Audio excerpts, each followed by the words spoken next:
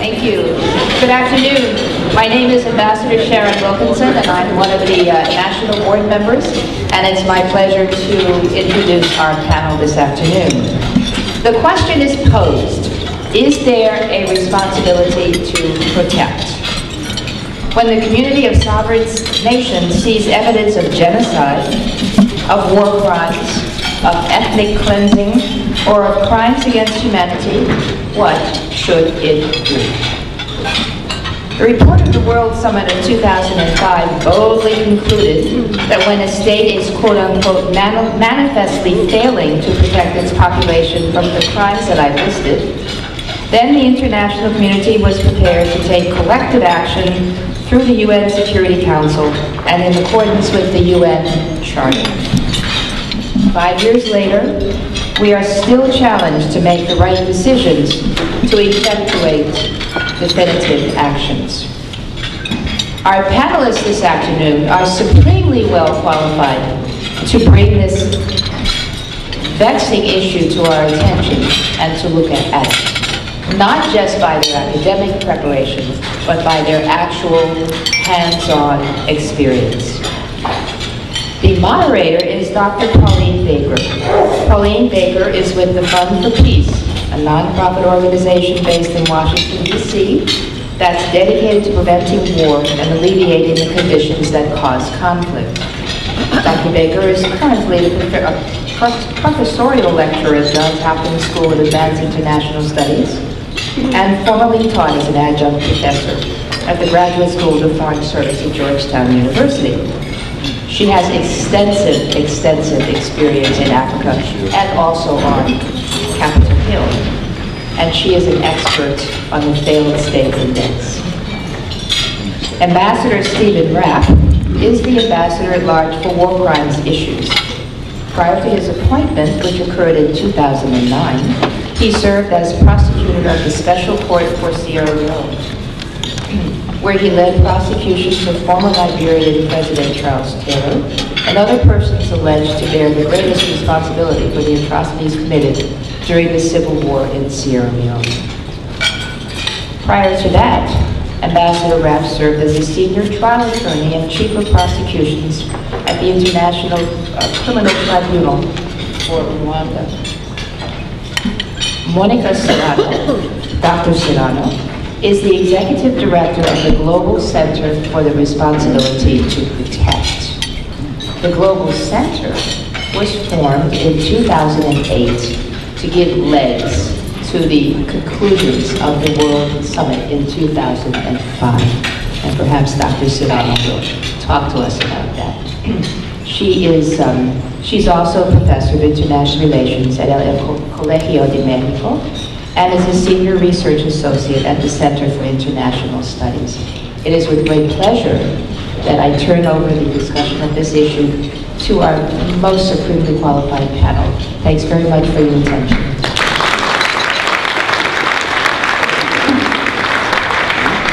Well, thank you very much. I think we're going to get right into it by first talking a little bit about this concept with a funny name, R2P. Um, and I want to give you just a little bit of a background on it uh, before we open it up.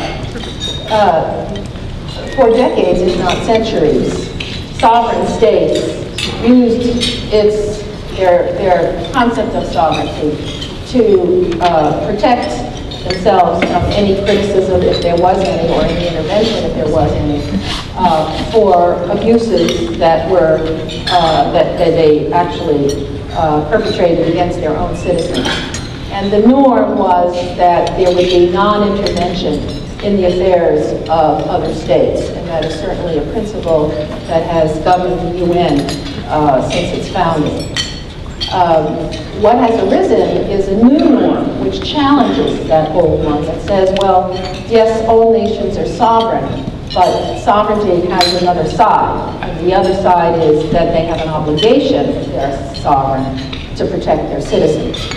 So the norm uh, emerged that sovereignty is in fact responsibility, not just uh, authority.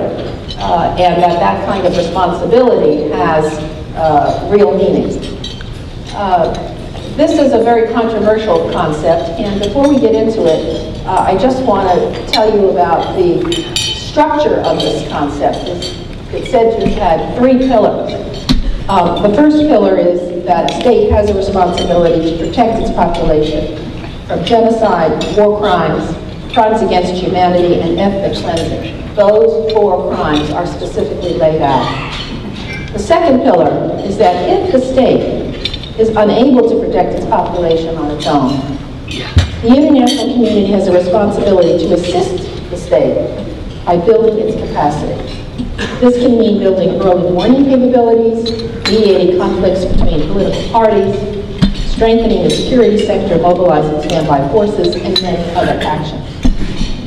The third pillar states that if a state is manifestly failing to protect its citizens from mass atrocities and peaceful measures are not working, the international community has the responsibility to intervene, at first diplomatically, then more coercively, and as a last resort, with military force. So it completely turns on its head the old norm of non-intervention in the affairs of sovereign states. So with that as a background, I'd like to turn to Monica and ask her to give us some background as to how this norm evolved and uh, what are uh, what more has to be done to, to make it uh, effective. Thank you. Well, as you rightly pointed out, the norm is now conceived around a three-pillar strategy that very much draws on the strategy outlined by the Secretary General in his report published last year. And this means a significant change from the earlier version of the norm, which was that coined by a commission, a Canadian commission, which was uh, known by the acronym ICISS, that uh, basically saw the norm as applying to large loss of life but did not confine the norm to the four crimes that uh, were then endorsed in the 205 World Summit Outcome document. So as we've seen, then the norm has evolved significantly from 201, when it was first coined by the ICISS Commission, to 205, when it was confined to the crimes, to 209, when it was then translated into a three-pillar strategy. You mentioned that the norm is still controversial. The controversy around the norm is very much linked to the association of the norm, association of the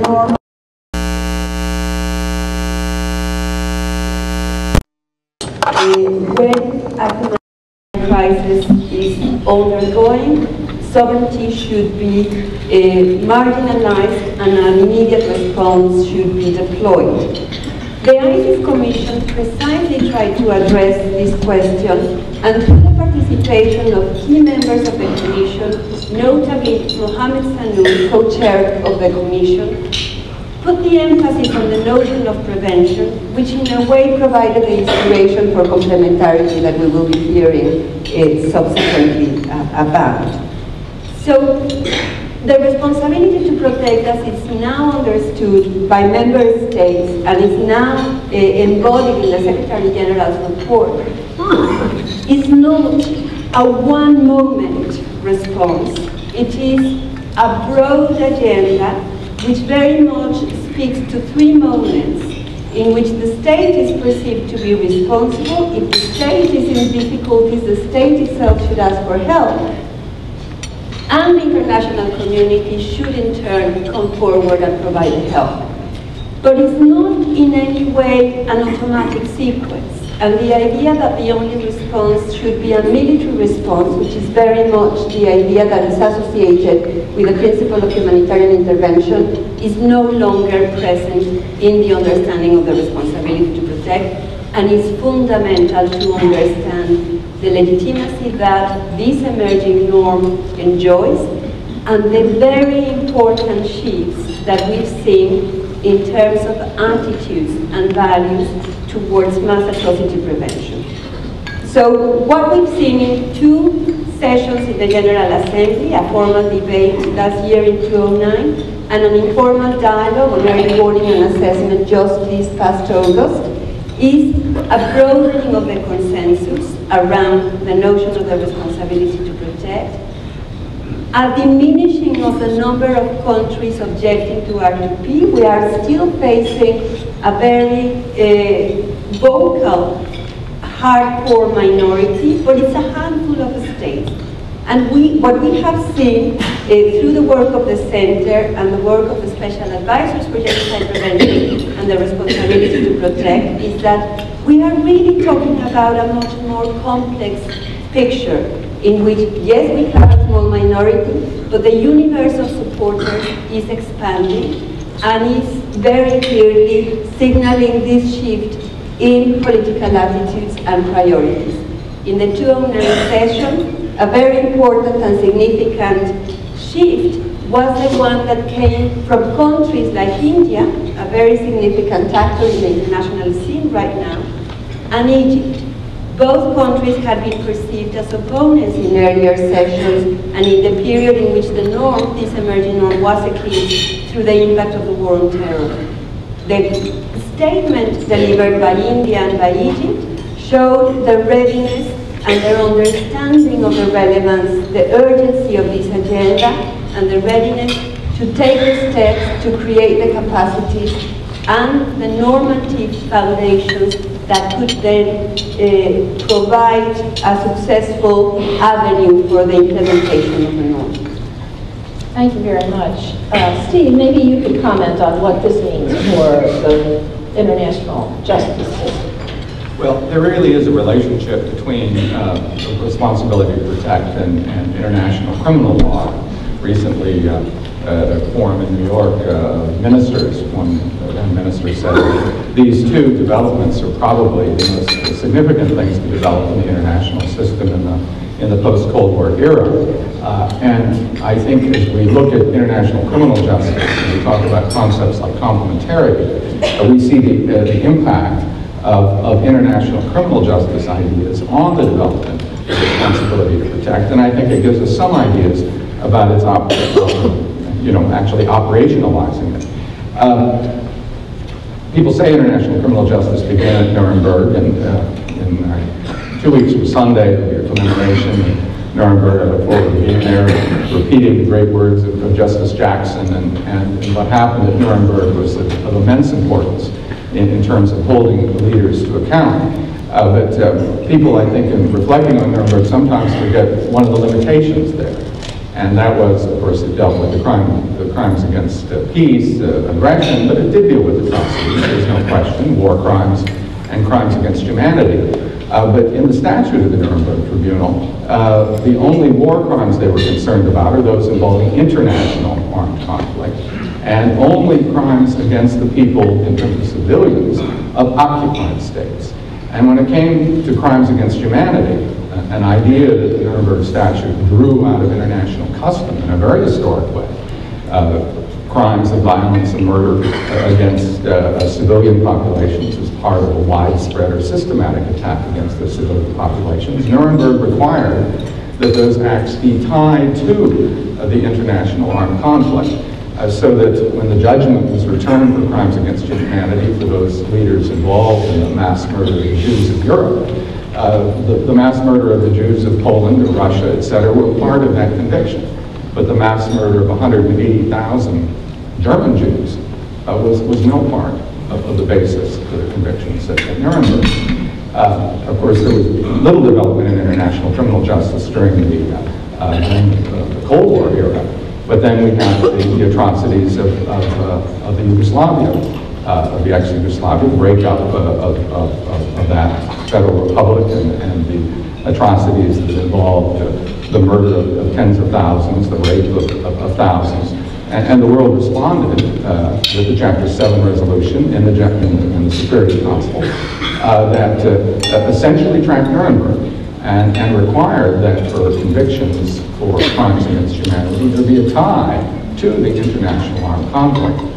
That changed uh, the following year uh, when with hundreds of thousands of people murdered in Rwanda in a non-international armed conflict, uh, which of course involved genocide, which is a, a, new offense that had been defined under the Genocide Convention of 48. But when it came to crimes against humanity, it no longer required uh, any sort of international uh, aspect of, of of the conflict uh, or of, of those crimes.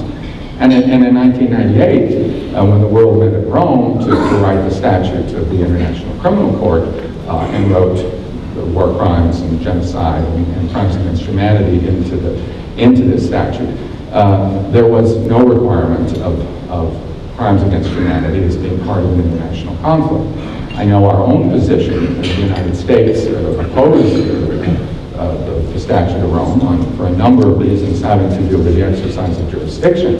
But there was absolute unanimity when it came uh, to the definition of these crimes. Indeed, our American career Marine, Bill Lietzau, who's uh, now in another position in the Pentagon, uh, was actually the author, uh, the draftsman of, of, of, of, a number of the key provisions, and, and in the end, the draftsman of all of the elements of the crime. So the whole world recognized that this was, that these, uh, that these crimes could occur within a single nation, uh, within, you know, against the people of, of one country, within their borders, and they could be of international concern. And now we see with the uh, International Criminal Court situation open in Kenya involving the murder of 1,133 people, not in a civil war, not in an armed conflict, not international in scope, or certainly not international, but of, atrocities based on ethnicity or, or, or, or political basis.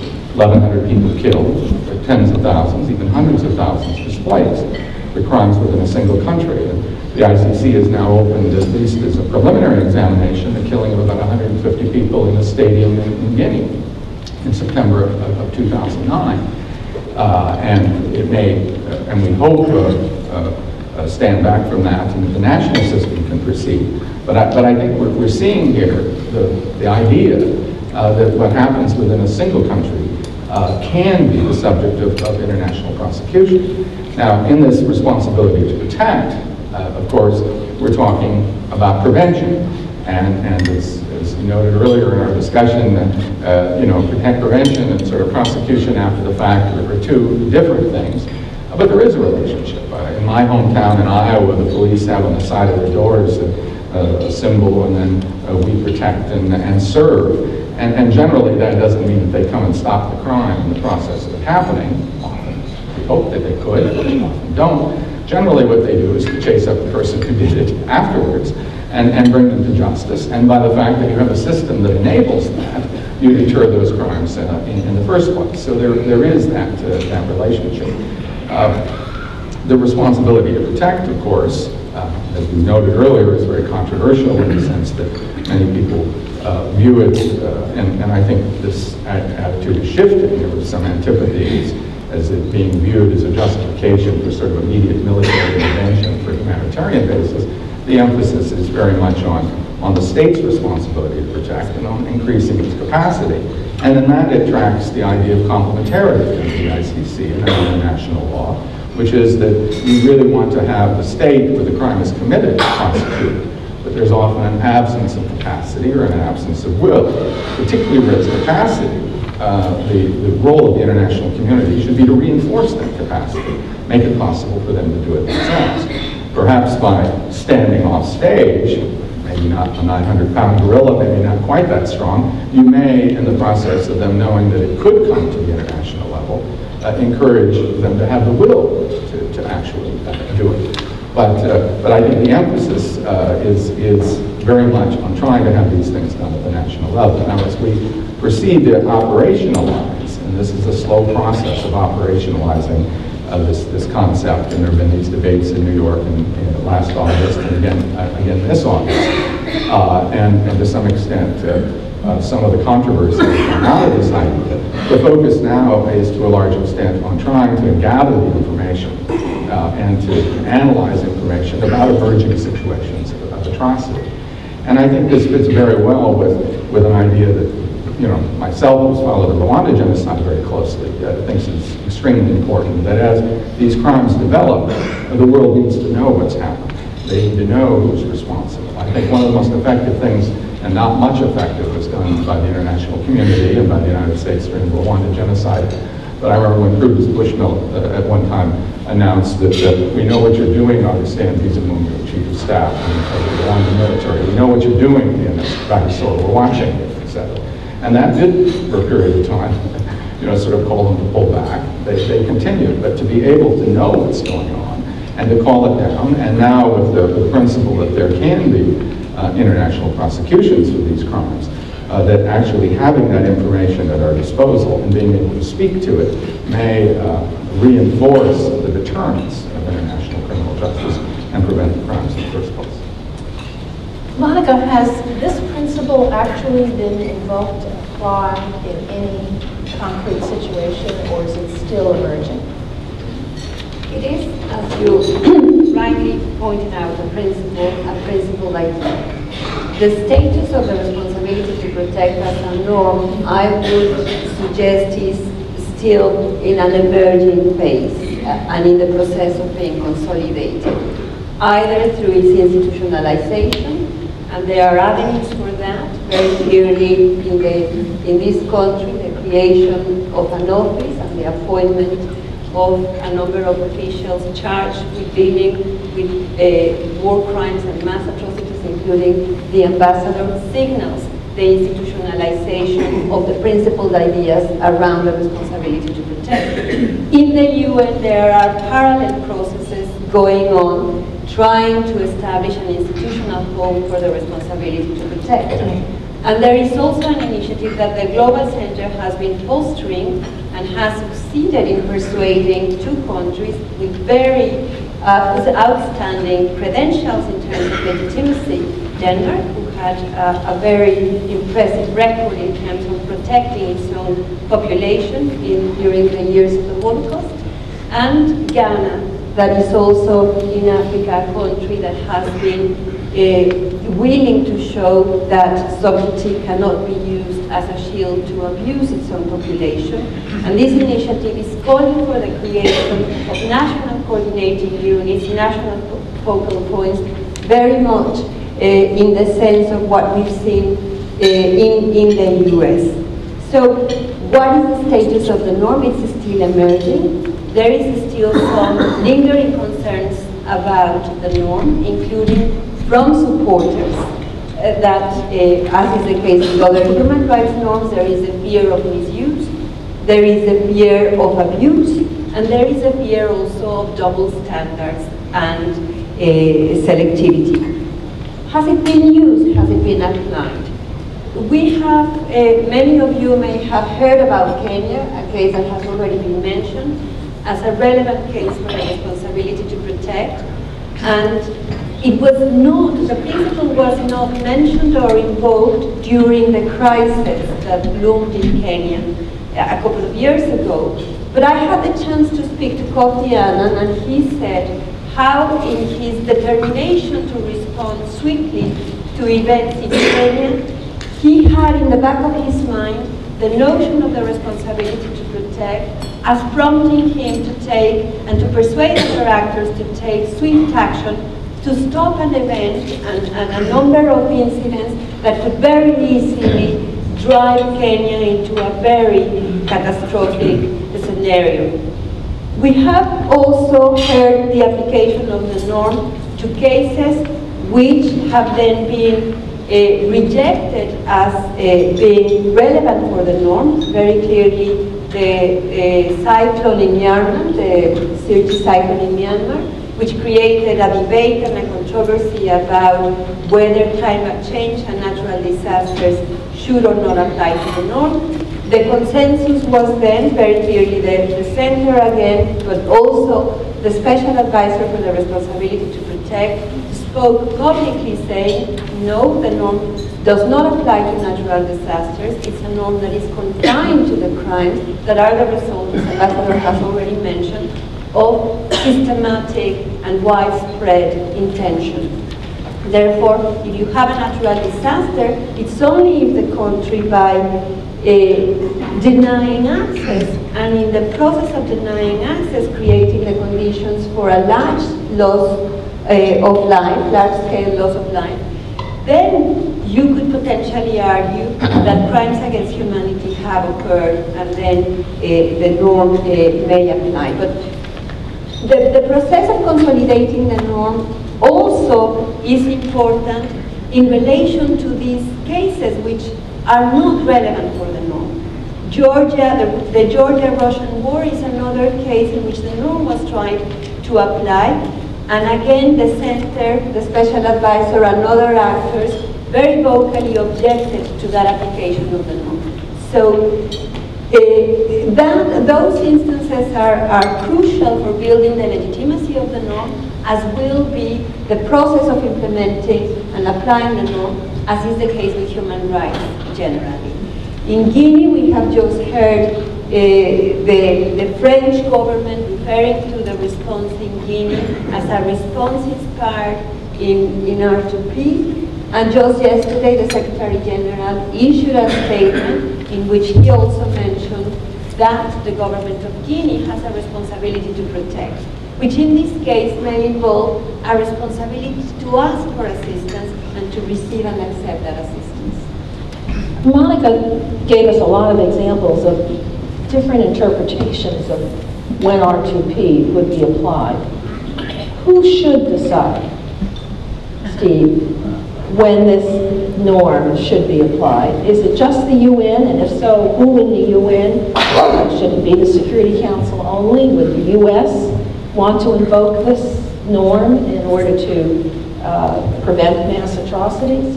Uh, and and what, is, what is the status of the who decides question?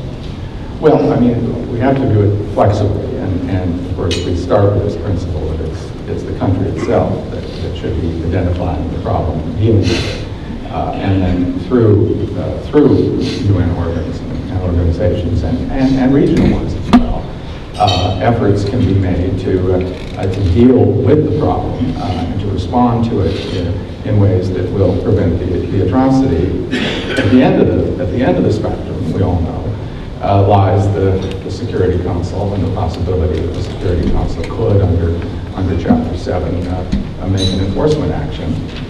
But that's only really the, essentially the, the last resort.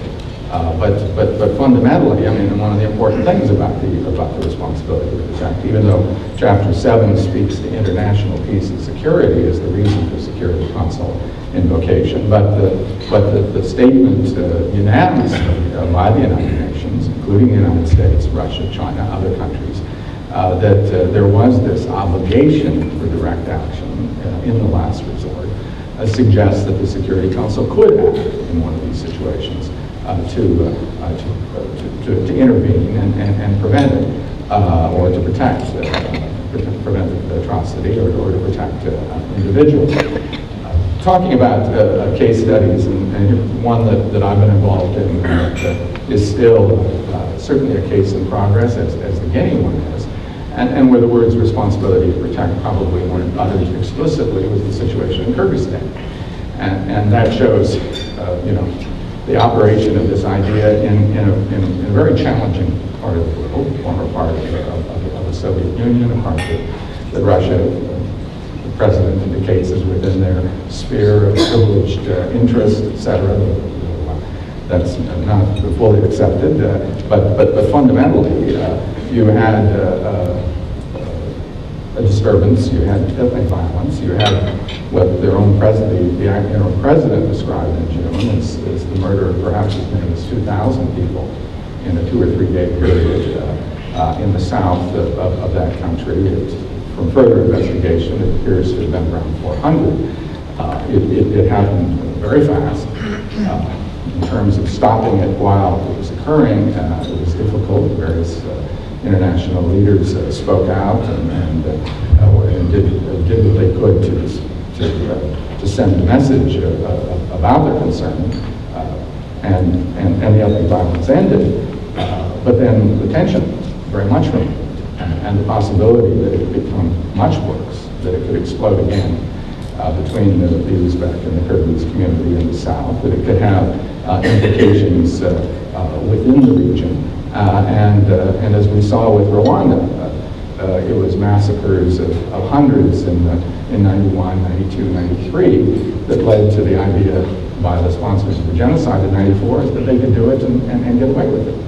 And so uh, the world response to a large extent was to, to, try to assist the Kyrgyz government and also to, to bring civilians and others into the country for humanitarian reasons, but also uh, to assist enforcement. There's been this police advisory group mission, which hasn't been deployed yet, sponsored by the OSCE, which we hope will soon uh, be there uh, as, as, eyes on the ground and, and, uh, and, and, working on this issue. Uh, there's been pressure uh, for an international inquiry in terms of what happened.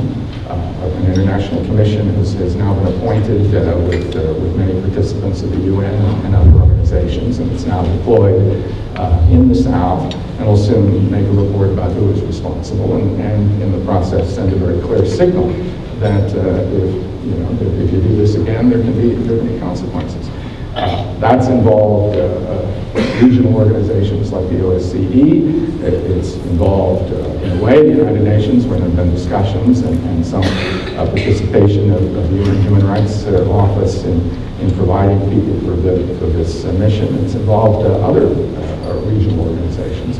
But, but it's, it's, I think, the, the way in which these situations will develop much more likely than the possibility that you'll have a Security Council uh, taking actions and some kind of peacekeeping group by, by a resolution of the Chapter 7. Monica, I wonder, uh, oh, before we get to the next question, we're almost at a point where we're going to open it up and have questions for you. So if you have any questions, please line up uh, uh, at the two mics. Um, and in the meantime, I'd like to ask you, uh, could this norm actually hurt people and be used by governments which actually are the perpetrators of atrocities to uh, stave off intervention. In other words, there's a three-step project, a process here. And they could say, well, we've done step one. Step two says if the if a capacity problem, the international community is obligated to build capacity. And they could just say, I just don't have the capacity. Let's talk about capacity. And in the meantime, they continue killing people. How do you get around that problem where you create a normative structure that has a step-by-step -step process? Meantime, when these kinds of atrocities break out, they're usually very rapid. Um, and somebody who really wants to commit ethnic cleansing or genocide could continue killing. I remember Milosevic said uh, when there was a threat of NATO intervention, uh, a village a day will keep NATO away. Uh, so if you want to perpetrate these atrocities, do it slowly. If you do it fast, then it's going to be a Russian intervention. So people can manipulate this and it could actually be counterproductive. How do we avoid that? Yeah, I, I think that you pointed to one of the tricky uh, challenges that our country faces. And the reverse could be said, I can provide you with exactly the opposite scenario in which if we remember Kosovo, for instance, the human rights violations uh, were pointed very clearly to what we now would associate with an R2P scenario. 45% of the Albanian population in a matter of days lost their jobs. Children were segregated in schools. Albanian children were only allowed to attend school at night uh, shifts. And, and yet, all the human rights protests that was going on in Kosovo was not sufficient to trigger the international response as was needed. And, and in turn, in a way, provided perverse incentive for uh, some sectors, in particular the KLA, and, and the willingness of the younger Albanians to uh, become involved in the KLA. So it can play both ways. But I, uh, I genuinely believe that to the extent that we are serious about prevention, when a situation like the one you mentioned occurs, then you will have the legitimacy to say this is unacceptable and to respond quickly and, and swiftly. Without that dimension, which obviously would not be feasible in the scenario that you described, it would have to be, but it's about really uh, working very hard as any norm would do. Norms in the end are about trying to shape behavior. And in that sense, the responsibility to protect aims at building institutions, promoting values and attitudes that help remove the incidence of the crimes and that help also mobilize the political will across sectors and across borders to respond to these challenges as they arise. But you need, it's not in a segmented, it's not a sequence, and that is very important. We are not talking here about a sequence in which you try this, if this fails this. It has to be an ongoing process. And the idea of Pillar 1, the responsibility to protect is an ongoing responsibility. But there are difficult and complex questions that the norm will have to deal with as it evolves and consolidates over time. Are there any questions from the audience? Well, if not, I want to then go back to you, Steve, and Monica had mentioned political will. For this norm to be operational, there has to be sufficient political will, not just in one country, but in uh, several countries, uh, to really enforce this. Do you think we're at that point now? Well, we're moving in that direction. I mean, and, and, again, I fall back on my own experience in, in international criminal law. When Charles Taylor was allowed to go to, to essentially a safe and comfortable exile in, in Nigeria in 2003, which i gave him that power without, without a firefight, uh, uh, the, the international community, the NGOs, the human rights groups, and others uh, said this isn't sufficient. Uh, this, this individual is responsible for mass atrocities. They need to face accountability. And civil society in Nigeria uh, attempted to prosecute resolutions passed in Congress 431 and, and the European Parliament unanimously calling for, for, for this to change. And, and finally, with the election of a, of a democratic government in, in Liberia and call for Nigeria Can you speak up, please? Excuse me. And the, uh, and the involvement of President Bush in refusing to meet President Obasanjo. Uh, uh, it was, uh, until Taylor was arrested, it was possible to, to bring him to justice. And and it's not, it's that sort of civil society, sort of international dynamic of, of people demanding that, uh, uh, that there be accountability for these crimes, I think transfers as well to civil society saying things have to be done. And, and they push their governments uh, in, in, in this direction. But uh, critics would say, why didn't we intervene while the atrocities were going on? Why did we wait and say, okay, one individual can hold accountable? The heart and soul of R2P is prevention. So is there political will now to intervene in a country that is experiencing this, these kinds of atrocities uh, in such a way that they could stop? I mean, we had the example of Kenya, but that was a diplomatic intervention that worked after a thousand people were killed. Many more could have been killed in the election crisis. But in the case of Liberia, we had an ongoing insurgency renewed. Charles Taylor was, was behind it, and yet no one intervened uh, to, to stop the atrocities until after they were done. Well, it, the issue of political will is, is a challenging one when it comes to putting boots on the ground, comes to uh, putting uh, American servicemen and women or, or others uh, in, in, harm's way. I mean, we saw the, the impact on Rwanda of, of the Black Hawk Down incident in, in Somalia. And, uh, and we've obviously had the experience of, of being involved in a, in, a, in a period of time during our uh, uh, presence in, in, Iraq when there was a civil conflict and an insurgency. And, uh, and, so I think the, the sort of political will to get involved in these situations uh, uh, directly and, and with force uh, may be no stronger now than, than it has been in the past. So we know that that, that challenge is there for all of us. Uh, even in the Rwandan situation, even though the world tried to hide from the fact that it was genocide for 45 days or so, by the middle of May, they called for the establishment of a 5,500 person uh, peacekeeping force to go in there, and no country wanted to volunteer uh, to, to, go into that to that situation. So the UN was ready with, at that point with a, with a Chapter 7 mandate. So that's that will be the challenge.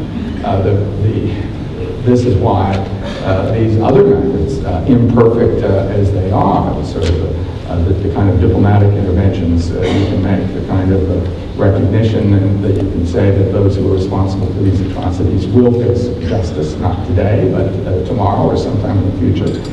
Uh, efforts to, uh, to, to, monitor the situations, use the diplomatic uh, tools that are, that are there, and also to work regionally. I mean, we criticize the African Union in a lot of respects recently on the debate over Bashir and the ICC. The African Union has, a, has a peace and security council, has a, robust mandate, has R2P in its charter even before it was internationally intervened, uh, uh, not under the African Union, but within the regional uh, grouping of ECOWAS, uh, intervened uh, in Liberia, intervened in, uh, uh, in um, uh, Sierra Leone in 92 and 97, and, and, and had an effect in terms of ending the atrocities there. others, however, as we know in the case of Sierra Leone, it took a, UN mandated mission and also a, a unilateral expedition by, by the British in the end to, to end that, and, and, and, all the world uh, uh, understood that and, and, and, basically supported it. Uh, but those are the kind of intermediate steps that I think we're talking about before we're discussing the possibility of a Chapter 7 mission that would, that would go in and try to separate uh, uh, the, the butchers from the victims. Let's go to the audience now. We'll start over here. Sky Force from Colorado Springs, and Ambassador, just to follow up really on the comments that you made. I mean, the most glaring example perhaps today of the failure of this, is the inability of states to follow through with it, is in Darfur, where the African Union basically is able to monitor and observe, but can't intervene. But my question is more broadly, our, our warning discussions were about the capacity of the United States to remain engaged, but frankly, an appetite for intervention is not something that's going to be high on anybody's list in the near term. So could you talk a little bit more about a, from the U.S. standpoint, the extent to which this con concept becomes at all attractive. It's always been a little bit unattractive. But secondly, for the rest of the international community, their capacity to respond, or is it really a question of, well, if it's going to be boots on the ground, it's got to be the United States. So how do we get around that problem of declining appetite within the United States?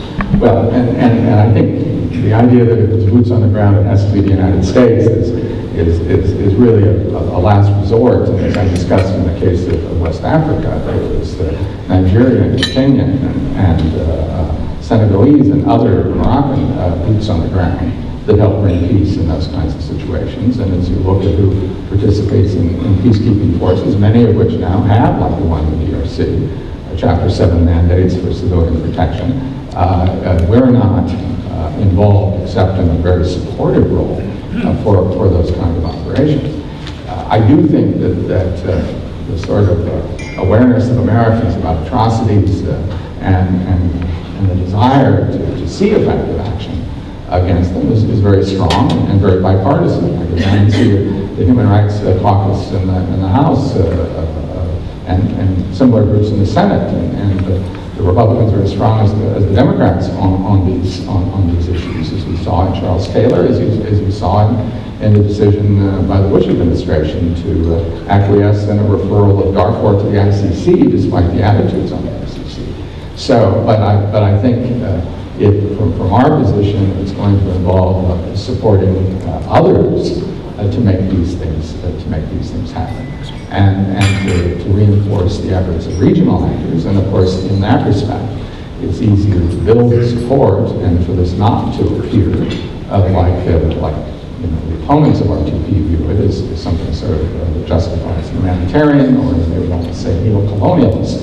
kinds of, of interventions. Uh, it's, and and to, to, focus it down at that level and to, and to be ready to, to help, I think, is, is, the, is the most that we're talking about from our point of view at this stage.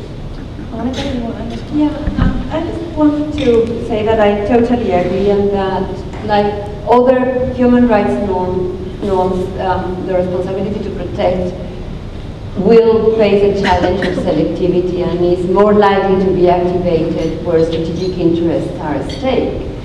Um, however, like other human rights norms, the logic of R2P is to set off a virtuous circle of pressure, peer pressure, mobilization, and persuasion that can increase the cost of inaction.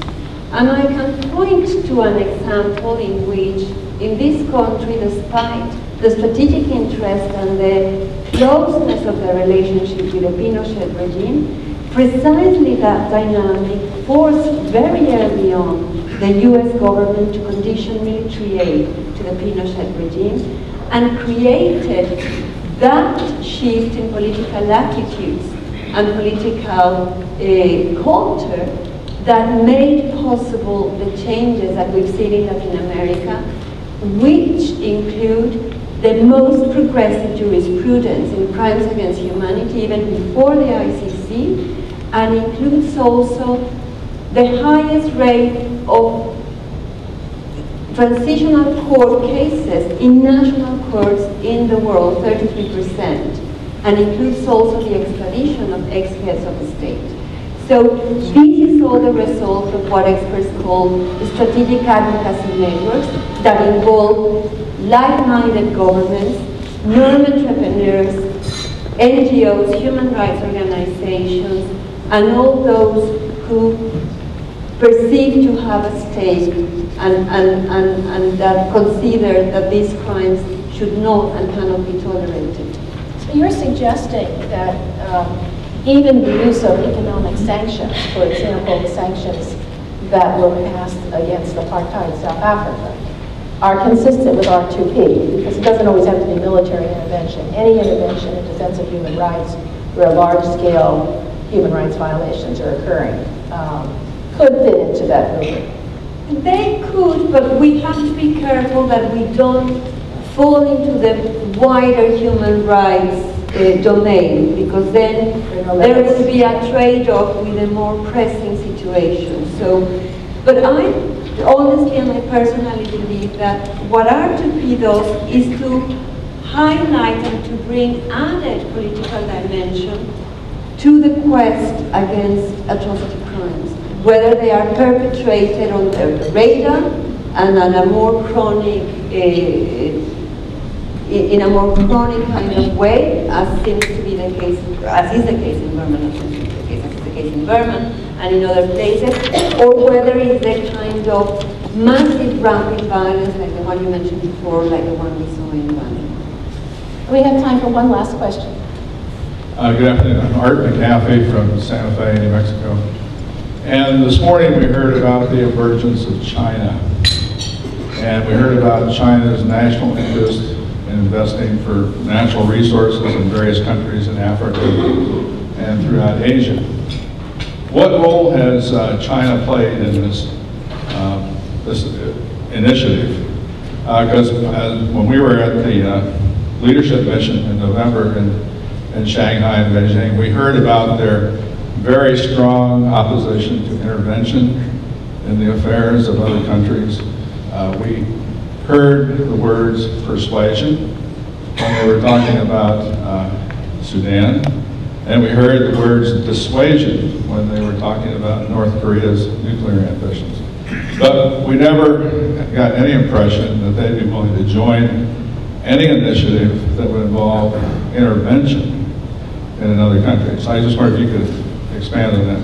Um, as I said, China has uh, not been thrilled by intervention and those by the responsibility to protect. But significantly, China endorsed with uh, many other heads of state, with a majority of heads of state, the 205 commitment. And uh, systematically, China has uh, responded in the debates and participated in the debates in a very nuanced and careful way. The 205 agreement was understood at the time as an agreement to disagree, but as a strategy of the Secretary General, very carefully crafted by his special advisor shows, the agreement contained the elements to enable the community of committed member states to try to expand the scope and to push the normative vote, uh, the normative vote. So my impression, and we've seen this with other powerful actors, including Japan, is that the, the behavior and the attitude of China towards the responsibility to protect, as is the case with other uh, emerging powers, Brazil, for instance, will very much depend on the capacity of that committed constituency to increase the cost of inaction. Of inaction. China has been problematic in Sudan, no doubt about it, no one can deny it. But there is also the understanding that pressure can be exerted on China and the political cost could be increased. but it's a challenge. So we still have a long way to go on this emerging norm, and we all agree it is an emerging norm, but I would like to just leave you with one concluding thought, and that is that if we had R2P in effect in the 20th century, we might have been able to reduce, if not avoid, the mass atrocities that were committed by Hitler, Stalin, and Mao Zedong, where no one was at, at any norm, any legal basis for protesting uh, about what they did to their own citizens. So with that thought, I think we made some progress from the 20th to the 21st century. But thank you very much, both of you.